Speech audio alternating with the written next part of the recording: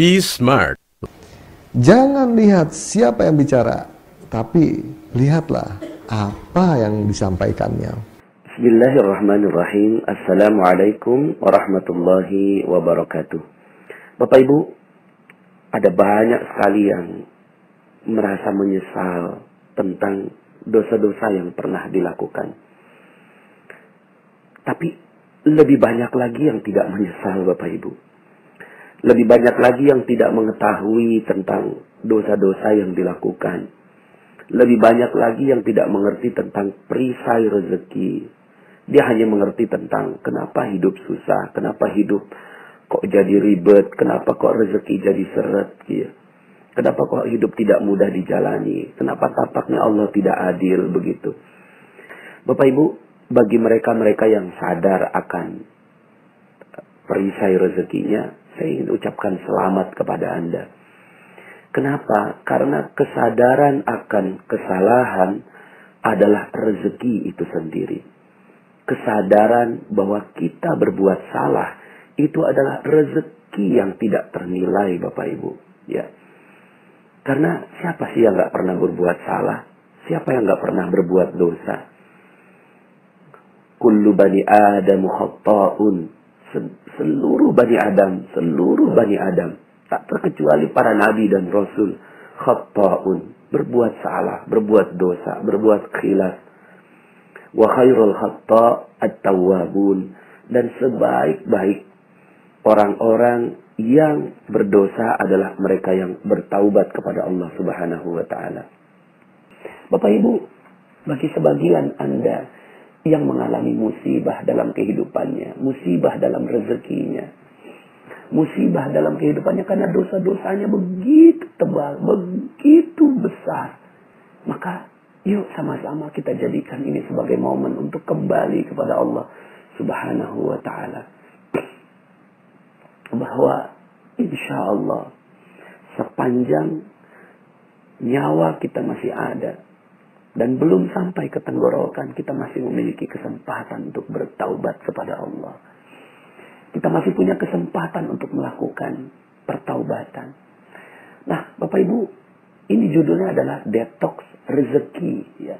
Bagaimana kita bisa dengan jalan pertaubatan ini kita melakukan detox ya.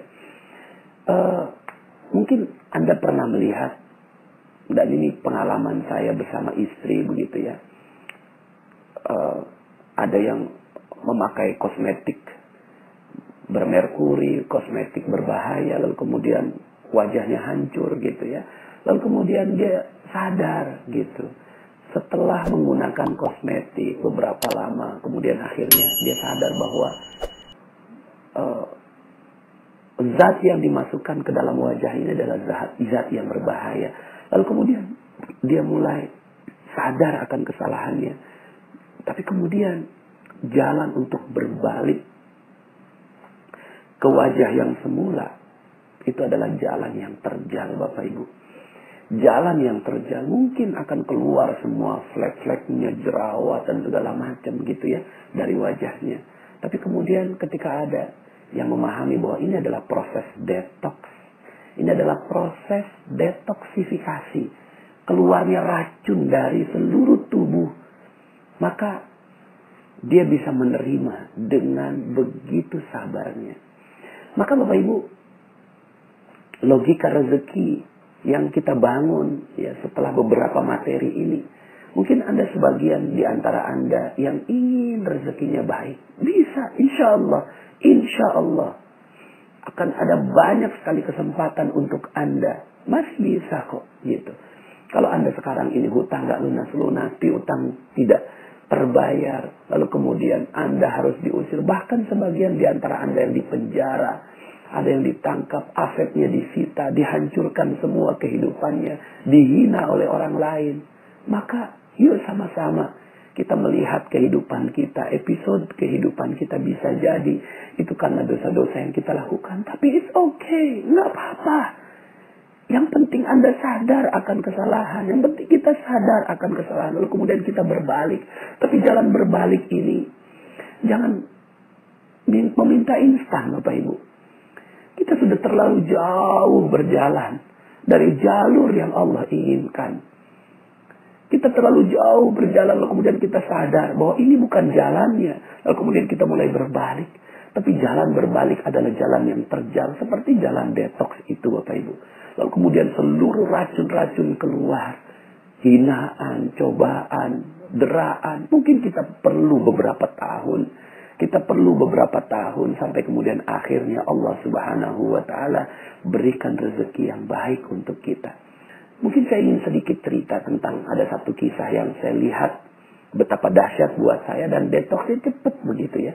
Ya, ya mungkin bukannya cepat ya, tapi di antara jalan yang Allah pilihkan untuk detoksifikasi ini Allah kasih hadiah gitu. Allah kasih hadiah. Ini kisah tentang seorang nenek. Nenek ini hobinya minta-minta Bapak Ibu. Setiap hari minta-minta. Setiap hari minta-minta. Dia nggak sadar bahwa minta-minta adalah dosa. Berharap kepada manusia, meminta-minta, ini adalah dosa. Dia nggak sadar ini. Dan dia merasa, oh, oke, okay, yang lain dia berada dalam komunitas peminta-minta. Eh, ini adalah sesuatu yang wajar. Ini adalah mencari nafkah. Tapi dia nggak sadar bahwa ternyata Allah nggak suka dengan perbuatan ini. Maka kemudian akhirnya dia tahu bahwa uh, dia dapatkan kisah tentang Ustadz Yusuf Mansur, dia datanglah ke pengajiannya Ustadz Yusuf Mansur. Ya. Akhirnya dia datang bukan cuma bukan buat ngaji, tapi buat minta-minta. Ya, sampai akhirnya ya panenlah Bapak Ibu ya. Karena uh, Ustadz Yusuf Mansur ini uh, mendoktrin jamaahnya untuk sedekah, ya sementara si nenek ini ada di luar. Ya. Tinggal menengadahkan tangan sampai kemudian akhirnya seluruh um, jamaahnya menjadikan sang nenek ini sebagai alat praktikum Bapak Ibu ya. Lalu kemudian dia lakukan itu terus sampai kemudian akhirnya ketahuan sama jamaah Bapak Ibu. Dilaporkan sama Ustaz Yusuf Mansur. Ya kemudian ketemu, nenek datang pengen minta-minta. Enggak Ustaz, saya nggak pengen minta-minta. Saya pengen ngaji Ustaz. Wah ini banyak orang yang laporan nenek seperti ini. Enggak Ustaz, gini aja deh. Kalau besok datang pengen ngaji, silakan dah. Tapi kalau jangan, kalau datang pengen minta-minta lebih baik jangan gitu kurang lebih seperti itu isinya nasihat Ustaz Yusuf Mansur kepada sang nenek akhirnya itu si nenek datang lagi besoknya tapi berubah niat Bapak Ibu berubah niatnya yang tadinya pengen minta-minta sekarang ngaji kenapa karena udah ketahuan sama Ustaz Yusuf Mansur sampai kemudian akhirnya ini nenek ngaji ngaji ngaji ngaji ngaji sampai kemudian akhirnya ada tuh si nenek ada Ustaz Yusuf Mansur ada saya ini si nenek ini ngoceh aja depan Ustaz Yusuf Mansur gitu ya. Nggak tahu orang yang diocehin orang yang sibuk. Sampai kemudian Ustaz Yusuf Mansur bilang gini, udah nek, gak usah banyak ngomong. Nih gue mau kasih duit. ya. Yang tadinya dia ngoceh langsung diem gitu. Ya, mau kasih duit. 250 ribu. Tapi bukan buat nenek semua. Ya, 190 ribu. Bagiin ke orang lain sebagai sedekah. 60 ribu buat nenek sebagai ongkos bagiin sedekah. Paham? Nggak paham Ustaz kata tuh si nenek. Ya akhirnya Ustaz Yusuf Mansur ngeliat saya. Nas, terusin Nas, gue banyak urusan. Akhirnya pergilah Ustaz Yusuf Mansur. Saya berhadapan sama si nenek. Oh mungkin tadi Ustaz Yusuf Mansur ngejelasinnya kecepatan. Saya akhirnya jelasin pelan-pelan. Nek, Ustaz Yusuf Mansur mau ngasih duit. Gitu. Cuma ya Oh, bukan buat nenek semua. Ustaz Yusuf Mansur mau ngasih 250 ribu. Betul kan Ustaz? Ya, saya cari Ustaz Yusuf Mansur. Eh, nggak ada Ustaznya.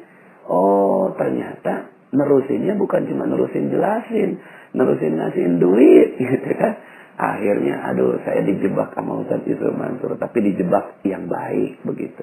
Akhirnya keluarlah dompet saya ada duit 300 ribu. Kemudian akhirnya saya keluarkan nenek ada duit 300 ribu. Tapi bukan buat nenek semua. 240 ribu bagiin ke orang lain sebagai sedekah. 60 ribu buat nenek sebagai ongkos bagiin sedekah. Paham? Paham Ustaz. Oh cepet banget pahamnya. Kenapa? Karena yang sebelumnya nggak ada duitnya. Sekarang ada duitnya. Jadi orang kalau dijelasin ada duit cepet paham gitu. Dua minggu kemudian saya ketemu masih si nenek lagi. Nangis si neneknya. Subhanallah Ustaz. Alhamdulillah. Ada apa nih? Ada apa? Iya tuh Ustaz. Duit itu udah saya tukerin duit-duit kecil. Ya. Dua ribu, lima ribu, sepuluh ribu gitu. Cuma karena komunitasnya peminta-minta yang datang banyak. Sampai duit dua ratus empat puluh ribu. Udah habis. Masih ada tiga orang yang datang. Nek, bagi sedekah kok saya nggak dapet gitu. Kata tiga orang ini. Udah habis, udah habis, udah ketinggalan loh gitu. Jangan bohong dong deh, jangan bohong. Akhirnya karena didesak, keluarlah bagian dia. Bagian dia berapa tadi? 60 ribu. Dikeluarkan 10 ribu. Nih bagi tiga ya, udah habis, udah habis. Pagi harinya beliau melakukan hal seperti itu. Malam harinya lewat depan sebuah rumah. Kalau nggak salah namanya Ibu Hajah Maryam. Nek, sini nek, ada apa Bu Haji? Nggak tahu nih, beberapa bulan ini saya terus keingetan nenek. Saya terus keingetan nenek. Alhamdulillah, tadi pagi saya udah daftarin nenek pergi umroh. Subhanallah. Sepuluh ribu pergi umroh. Sepuluh ribu pergi umroh. Masya Allah, ini yang namanya detox rezeki Bapak Ibu. Kita lihat prosesnya. Pertama, sang nenek melakukan dosa. Apa dosanya? Dosanya meminta-minta dan memanfaatkan masjid sebagai ladang untuk meminta-minta. Ini dosa. Ya. Ini dosa yang dia lakukan tapi dia nggak sadar. Dia merasa bahwa it's okay, semua juga melakukan itu, gitu ya. Tapi ternyata dia telah menggantikan manusia, telah menggantikan masjid, telah menggantikan pengharapan ke orang lain dibandingkan dengan pengharapan kepada Allah. Dan ini adalah salah satu bentuk dari uh, dosa. Ya, ini satu. Tahap yang pertama adalah melakukan dosa. Yuk kita berkaca. Mungkin sebagian di antara kita, saya juga termasuk, pernah melakukan dosa. Gitu ya. Lalu kemudian kita coba teliti, apa ya salahnya, apa ya salahnya, gitu ya. Apa ya salahnya. Terus kemudian kita coba meminta, bertanya kepada Allah, ya Allah saya salah di mana, gitu ya. Lalu kemudian yang kedua, sadar akan kesalahan. Nah, di sini Allah menjadikan kesadaran akan kesalahan itu dengan bantuan orang lain. Yaitu bantuan jamaah yang melaporkan ke Ustadz Yusuf Mansur. Dan Ustadz Yusuf Mansur juga menegur kepada sang nenek. Ini adalah proses kedua terhadap sang nenek. Yaitu memberitahu tentang kesalahan. Nah, sampai di sini ada orang yang mau nerima. Ada orang yang tidak mau terima. Ya, Sampai di sini ada orang yang mau terima, ada orang yang nggak mau terima. Kebetulan, alhamdulillah, sang nenek ini mau terima. Akhirnya beliau ya merendahkan dirinya. Ini tahap ketiga. Pertama, terjadi dosa. Kedua, disadarkan akan dosanya. Yang ketiga, merendahkan hatinya kepada Allah Subhanahu wa taala dan merasa bahwa dirinya pernah melakukan salah dan meminta ampun kepada Allah Subhanahu wa taala. Proses merendahkan diri di hadapan Allah ini dilakukan oleh Nabi Adam sepanjang seribu tahun. Proses merendahkan diri ini dilakukan oleh Nabi Musa. Proses merendahkan diri ini dilakukan oleh Nabi Yunus. Proses merendahkan diri ini dilakukan oleh Umar bin Khattab radhiyallahu an. Sehingga ketika setiap beliau ingat akan wajah anaknya, beliau selalu menangis. Ini adalah proses merendahkan diri di hadapan Allah. Ya. Dan proses merendahkan diri ini ya dilakukan dengan sepenuh kesungguhan.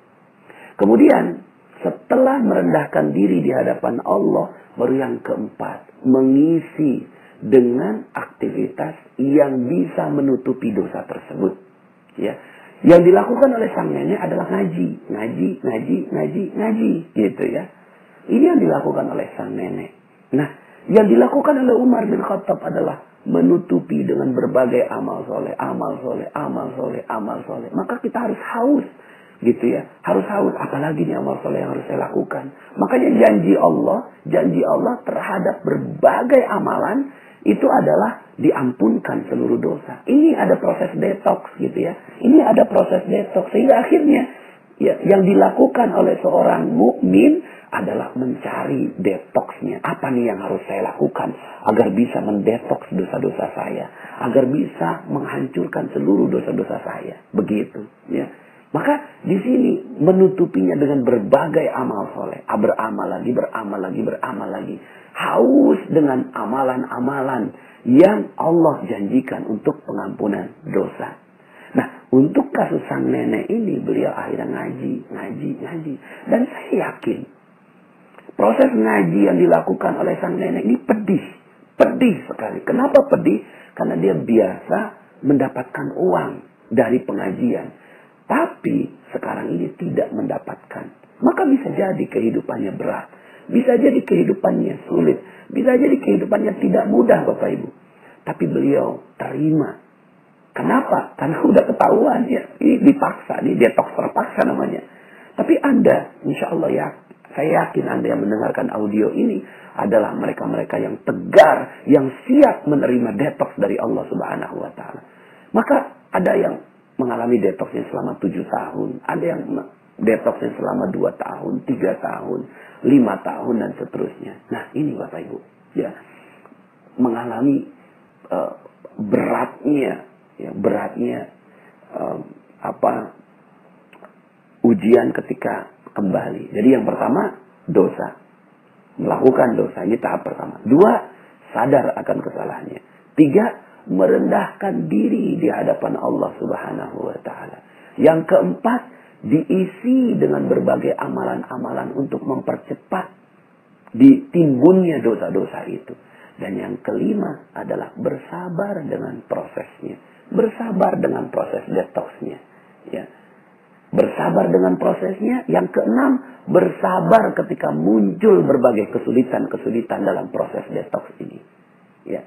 Kalau ini yang sudah dilakukan, maka terjadi yang keenam, Bapak Ibu. Yang keenam ini adalah ujian.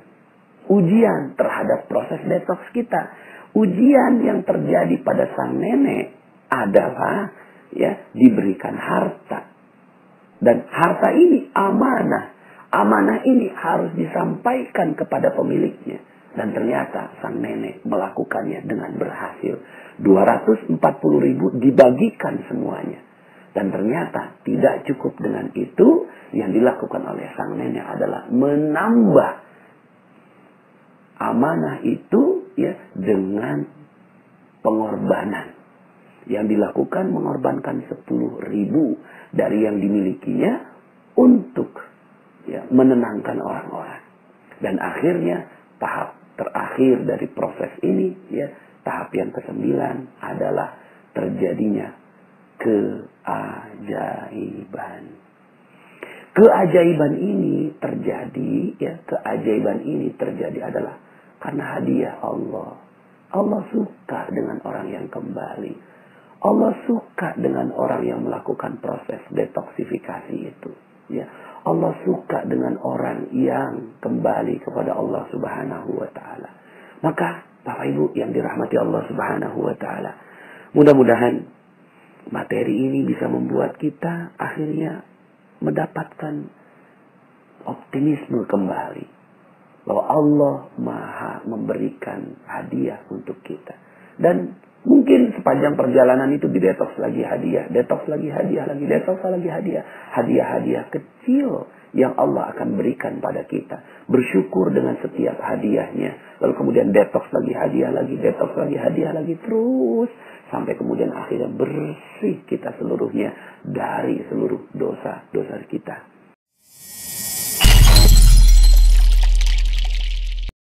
Hai guys, jangan lupa subscribe YouTube channelnya ya.